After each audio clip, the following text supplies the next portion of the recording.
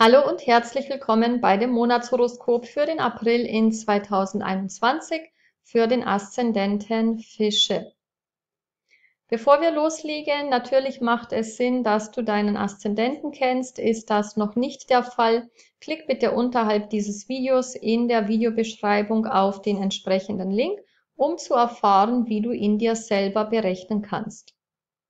Des Weiteren lade ich dich herzlich ein, besuche ab dem 4. April den Selbsterkenntnis-Ostermarkt, schlendere an den Marktständen herum. Die Webseite dazu siehst du hier oben links eingeblendet oder auch unter dieser Video, unter diesem Video in der Videobeschreibung findest du einen entsprechenden Link. Doch jetzt starten wir mit deinem Monatshoroskop. Ich beginne diesmal mit allen Planeten, die sich in diesem Monat bewegen, die ihre Position verändern. Und danach gehe ich auf diejenigen ein, die den ganzen Monat über im gleichen Haus sind und die dich dort sogar noch viel länger begleiten werden.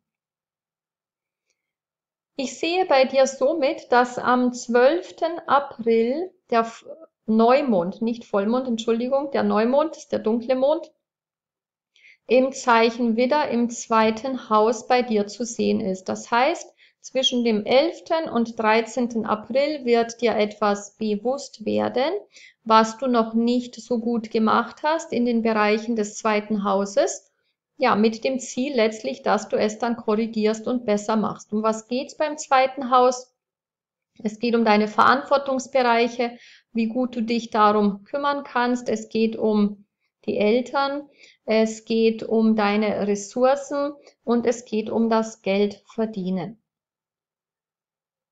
Dann haben wir die Sonne ebenfalls in diesem zweiten Haus und zwar bis zum 19. April. Die Sonne im Zeichen Widder ist sehr stark. So kannst du jetzt auch zum Beispiel dich um eine Gehaltserhöhung bemühen. Ja, die Sonne steht für die Karriere, das zweite Haus steht für das Geldverdienen. Eine starke Sonne kann Unterstützung von Autoritäten oder Autoritätspersonen anzeigen. Autorität ist auch ein Chef zum Beispiel. Also nutze diese Gelegenheit, sei ruhig diesbezüglich mutig, wenn die Situation passt und versuche, ähm, ja, hier für dich etwas Gutes zu tun. Die Sonne möchte ja auch, wenn sie stark ist, erhöht ist, dass du erstrahlst in diesem Bereich. Die Sonne steht aber auch für den Vater und das zweite Haus für deine Verantwortungsbereiche. So kannst du zum einen mehr mit dem Vater jetzt zu tun haben. Vielleicht erfährst du auch Unterstützung von dem Vater. Oder es geht auch darum, dass du dich um den Vater irgendwie kümmern sollst. Am 20. April wechselt die Sonne dann ins dritte Haus. Jetzt geht es darum, dass du eigene Anstrengungen unternimmst zum Thema Beruf, zum Thema Status und Karriere. Du kannst auch deine Fertigkeiten oder sogar deine privaten Interessen mehr mit deinem Beruf verbinden. Es kann jetzt aber auch Schwierigkeiten für den Vater oder in Verbindung mit dem Vater geben. Und letztlich nutzt du die Sonne gut, wenn du jetzt deine Inspirationen bezüglich deiner Fertigkeiten, bezüglich deiner privaten Interessen in die Anwendung und in die Umsetzung bringst oder wenn du auch wirklich deine Fertigkeiten mehr durch deinen Beruf ausdrückst. Die Venus ist die erste Hälfte im April im zweiten Haus, die zweite Hälfte im April ist sie im dritten Haus.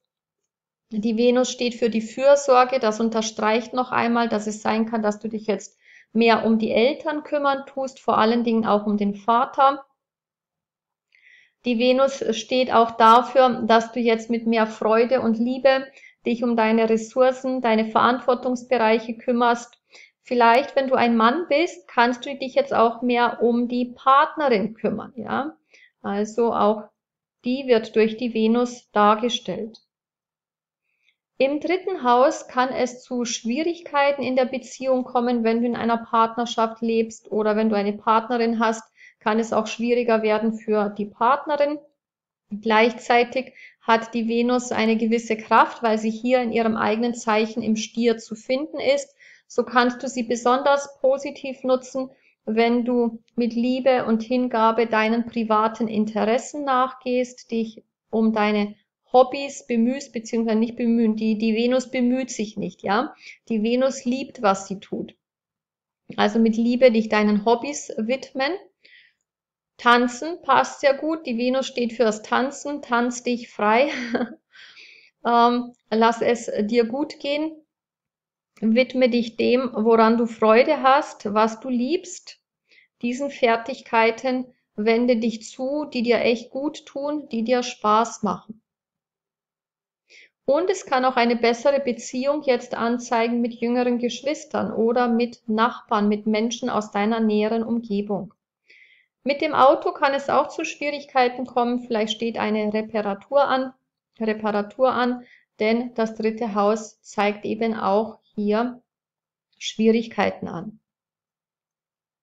Der Merkur wechselt in diesem Monat sogar drei Sternzeichen, drei Häuser. Die ersten vier Tage ist er im Aszendenten bei dir. Eine Zeit, wo Lernen, Kommunikation, Wissen, Information eine ganz, ganz wichtige Rolle für dich spielen. Vielleicht planst du deinen Lebensweg. Vielleicht geht es aber auch um Ernährungsthemen damit du deinem Körper etwas Gutes tust. Freunde können ebenso wichtiger für dich werden in dieser Zeit. Vom 5. bis 20. April haben wir den Merkur im zweiten Haus. Jetzt geht es darum, dass du deine Finanzen managst, dass du deine Ressourcen managst, dass du dich gut um deine Verantwortungsbereiche kümmerst, dass du hier planst, damit du effektiv das Ganze, was du zu tun hast, in diesen Bereichen erledigen kannst. Wenn du Sprachen lernen willst, auch dafür ist der Merkur im zweiten Haus sehr gut geeignet. Die letzten zehn Tage im April haben wir den Merkur im dritten Haus. Der Merkur und das dritte Haus stehen für Kurzreisen. Möchtest du reisen, dann ist das jetzt die Zeit für eine Kurzreise.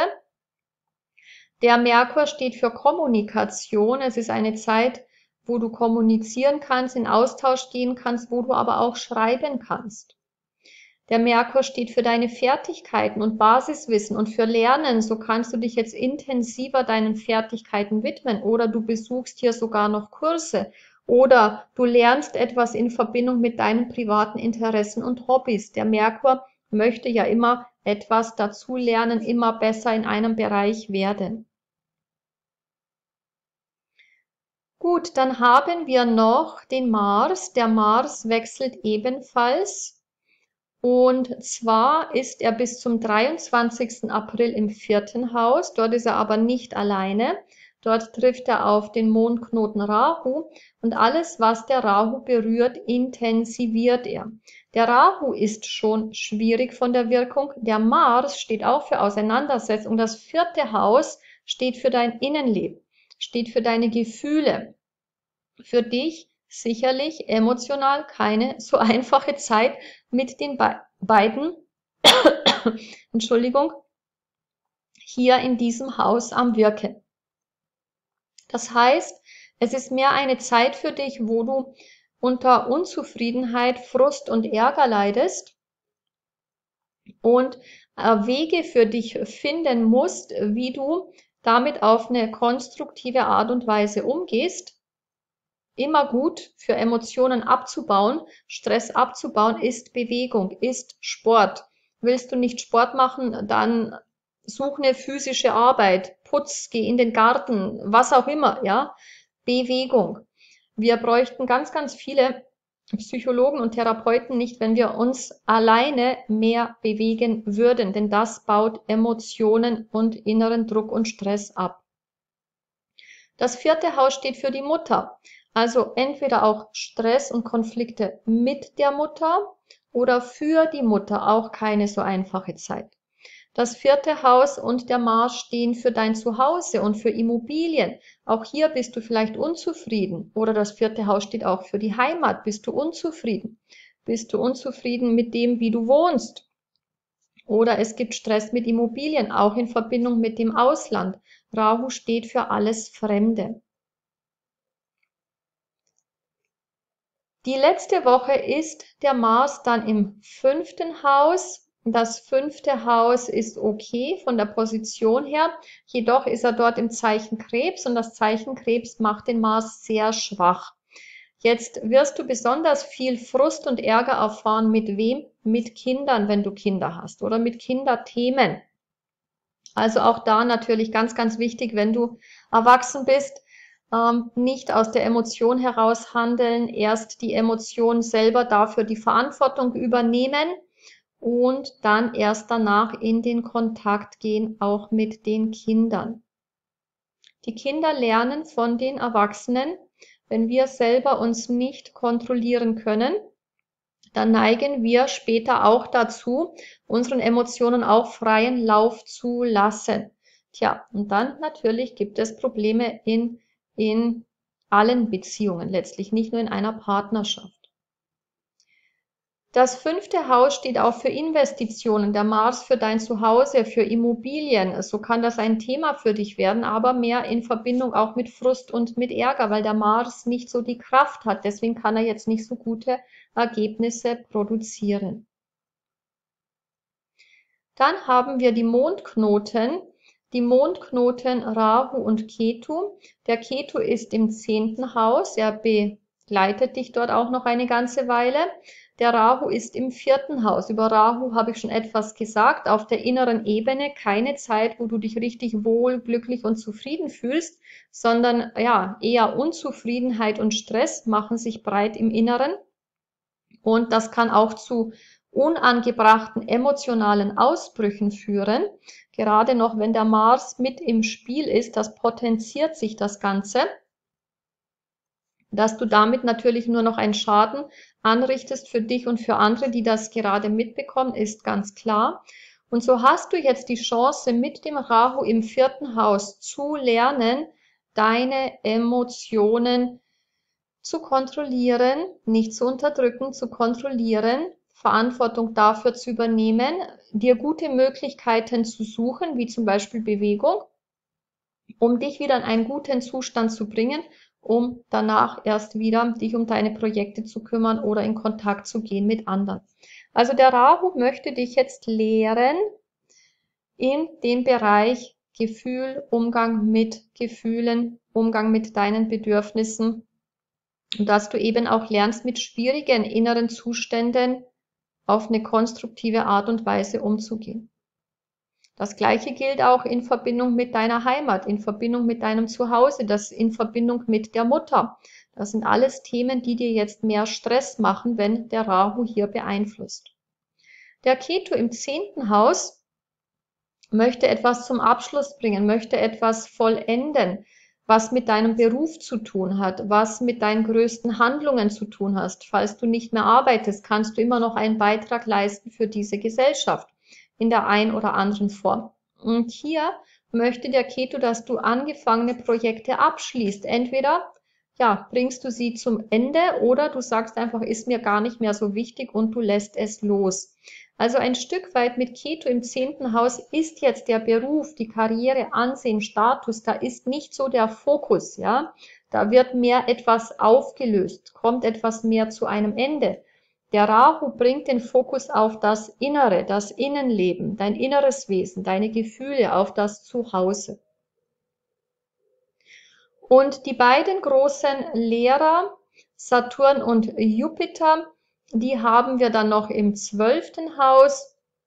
Das ist jetzt keine so gute Hausposition. Das zwölfte Haus steht für Trennung, für Isolation, für Kosten, Verluste, Ausgaben. Saturn selbst steht auch für Ausgaben und Kosten. Jupiter steht für die Finanzen. Also bei dir kann es eine Zeit anzeigen, wo du verstärkt mit Ausgaben und Kosten oder sogar Verlusten konfrontiert wirst. Und deswegen ist es ganz, ganz wichtig für dich, dass du hier genau hinschaust, dass du Ausgaben vermeidest, dass du Kosten vermeidest dass du besser wirst in deinem Finanzmanagement, dass du nicht nur andere das machen lässt, Finanzberater etc., sondern dich selber darum bemühst. Der Jupiter steht für Kinder, der Jupiter steht bei einer Frau für den Partner.